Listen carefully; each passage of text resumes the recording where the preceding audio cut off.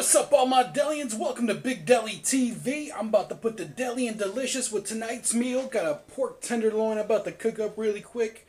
Another nice little cooking lesson video I'm doing for y'all. Let's check out those ingredients. We got this small pork tenderloin that we're going to sear up in this pan over here with some olive oil in it. It's nice and small and making about two servings worth, good enough for two people. Over here, the veggies with it, we got some chopped Brussels sprouts as well as carrots. I've actually never had Brussels sprouts before, so this is the first time I'm cooking them. Hope they turn out good. And over here, created my own little Big Deli cream sauce. It's uh, lemon juice, uh, one lime, I'm sorry, one lemon's worth of lemon juice, three cloves of garlic, and a small can of evaporated milk. Mix that all together with some salt and pepper. Going to put that in the bottom of a pan to heat it up and cook it down. That's going to be our sauce with this meal. It's going to be so deli. First step of this process, going to throw these Brussels sprouts and carrots into the oven. Got the oven set at 400 degrees. I don't know if you guys can see that.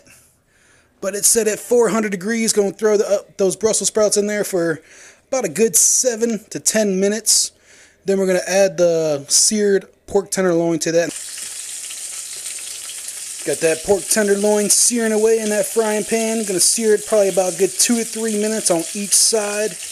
Once that's done, going to throw it on that pan with those vegetables and let it roast the rest of the way. Alright, so we got that pork tenderloin searing up. Got that first side done. Just flipped it over. Got to sear the other side for another two, three minutes. So we got that pork tenderloin seared up on the pan with the vegetables that have been roasting in the oven for about 7 minutes now. Got to put all this back in the oven for about another 12 to 15 minutes so it can finish. The uh, pork is seasoned with some smokehouse maple seasoning as well as some Monterey seasoning. And then a little bit of salt so it should be very good. And then those vegetables are seasoned with some olive oil, salt, pepper, and some red pepper flakes. And then we're going to top this all off, or actually put it on the bottom with that uh, nice little sauce I created too. So this should be mighty, mighty deli. Alright, so food's about ready. We got that sauce heating up right here is the final step.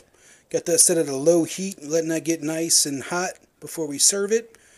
The pork tenderloin and vegetables are ready. I'm going to take those out the oven right now.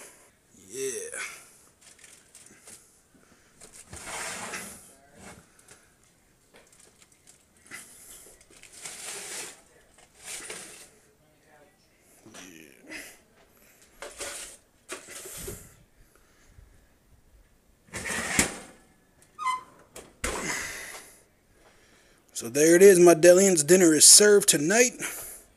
Get that pork tenderloin and those roasted vegetables. Sauce is heating up. About to put it all together and eat. That pork tenderloin, those vegetables.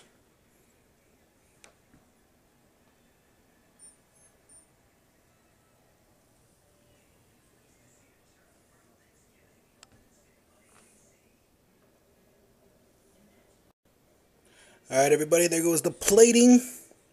That pork tenderloin, those vegetables, and that sauce is underneath that tenderloin. I don't know if you guys can see that or not, but it's there. It's looking mighty deli. About to eat this right now. Oh yeah, get a good shot of that.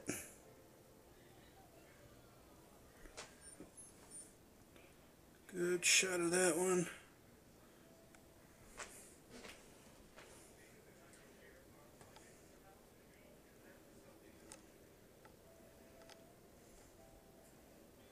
Perfect. It's time to eat.